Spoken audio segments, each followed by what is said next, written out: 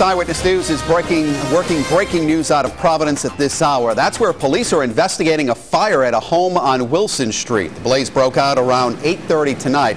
Let's get right to Eyewitness News reporter Julie Raditsky. She's live on the scene with the breaking details.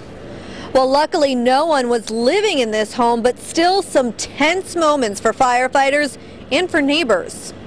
The fire breaking out at this single-family home on Wilson Street around 8 o'clock. Firefighters tell Eyewitness News they had some difficulty with a faulty fire hydrant, but were able to get the blaze under control. Rudy Espinal says he heard what sounded like an explosion shortly before the house went up in flames. It must have been terrifying. You live right next door. Yeah, it was very terrifying. I was just afraid. I just called my family out of the house.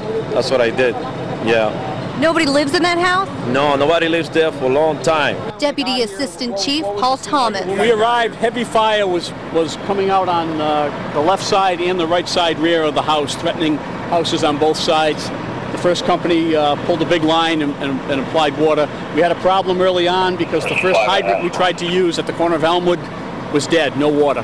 So we ended up having to lay about 700 feet down Wilson Street in order to get a water supply. So that was that was an issue in the early going, getting uh, getting a water supply established after hitting a dead hydrant.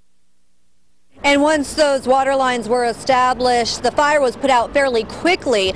The cause remains under investigation tonight. Live with the Providence Mobile Newsroom, Julie Raditsky, Eyewitness News.